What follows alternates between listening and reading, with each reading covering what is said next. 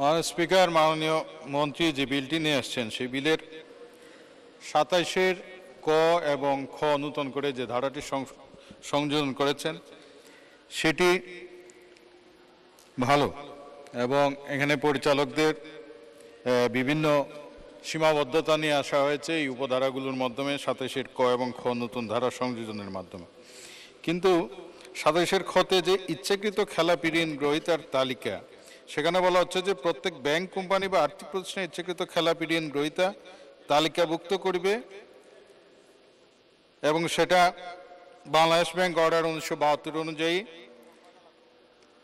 বাংলাদেশ ব্যাংকের নির্দেশে সেই খেলাপি ঋণ গ্রহীতার তালিকা বাংলাদেশ ব্যাংকে প্রেরণ করবেন কিন্তু এটার আমার মনে হয় যে এখানে হয় স্পেসিফিক করা উচিত ছিল যে কোন ক্রাইটেরিয়ার এই লোকজনকে ইচ্ছাকৃত খেলাপি ঋণ গ্রহীতা হিসেবে তালিকাভুক্ত করা হবে অথবা এটার জন্য আলাদা একটা বিধিমালা হয়তো করার প্রয়োজন হতে পারে।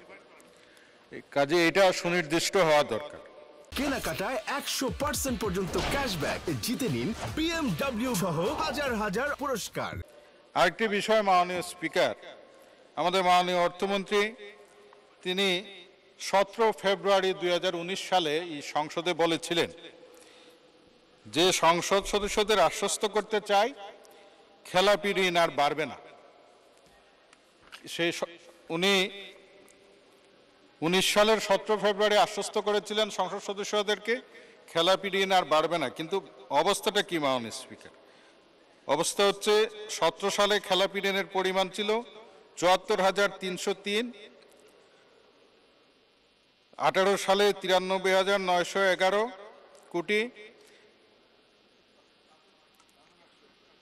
এবং এটা ধারাবাহিকভাবে বাড়তে বাড়তে দুই এক মিনিট। এক লক্ষ একত্রিশ হাজার ছয়শো বিশ কোটি টাকা।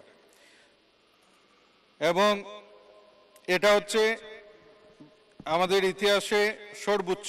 ব্যাংক খাতের মোট ঋণের মধ্যে আট দশমিক আট শূন্য শতাংশই খেলাপি ঋণ যেটা আন্তর্জাতিক মানদণ্ডে তিন শতাংশ পর্যন্ত সহনীয় বলা হয়। কেনাকাটায় একশো পার্সেন্ট পর্যন্ত ক্যাশব্যাক জিতে নিন বিএমডব্লিউ সহ হাজার হাজার পুরস্কার।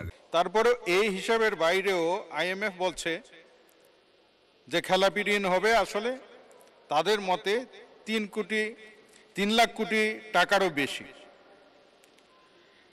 এখন মাননীয় অর্থমন্ত্রী এই ঋণ খেলাপিদেরকে ঠেকাতে পারছেন না। এখন বাংলাদেশ ব্যাংক একটা প্রজ্ঞাপন দিয়ে আবার বলছেন এই যে খেলাপি ঋণ মানে দৃশ্যতা কমিয়ে নিয়ে আসার জন্যে একটা এটার উপরে একটা প্রলেপ দেওয়ার জন্যে যে কিস্তির অর্ধেক টাকা দিলে যেটা আজকে সংবাদ মাধ্যমে আসছে বাংলাদেশ ব্যাংকের যে প্রজ্ঞাপন যে কিস্তির অর্ধেক টাকা দিলে খেলাপি হবে না। এখন আমরা এই বিল নিয়ে আসছি আইন করছি। আইন তো মাননীয় স্পিকার আমাদের ছিলই। কিন্তু সেই আইন থাকার পরেও আমাদের কি হয়েছে? আমাদের মানি লন্ডারিং আইনে সাতাশ ধারায় তো অনেকগুলো বিষয়ের শাস্তির কথা বলা হয়েছে। কিন্তু তারপরেও কি হয়েছে? আমাদের ষোলো বছরে পাচার হয়েছে এগারো লাখ কোটি টাকা। এবং যুক্তরাষ্ট্রের ওয়াশিংটন ভিত্তিক গবেষণা প্রতিষ্ঠান গ্লোবাল ফাইন্যান্সিয়াল ইন্টিগ্রিটির প্রতিবেদনে সেটা বলছে। এই যে ষোলো বছরে এগারো লাখ কোটি টাকা পাচার হয়ে গেল।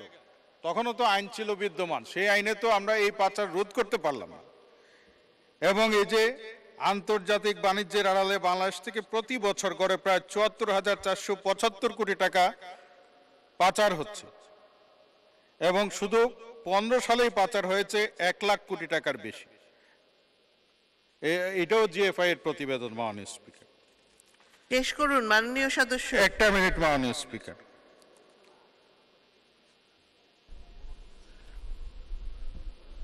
মিনিট। এবং এই যে মানি লন্ডারিং এর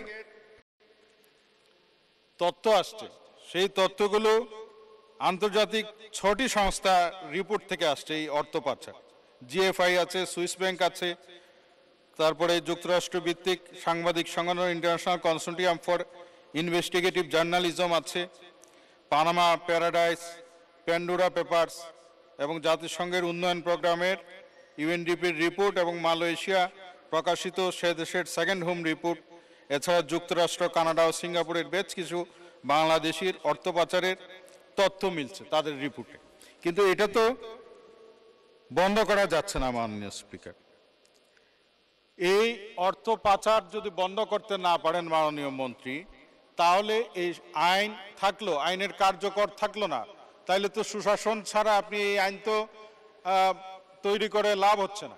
আপনি সুশাসন ব্যাংকের সুশাসন তো নিশ্চিত করতে হবে। ধন্যবাদ মাননীয় সদস্য।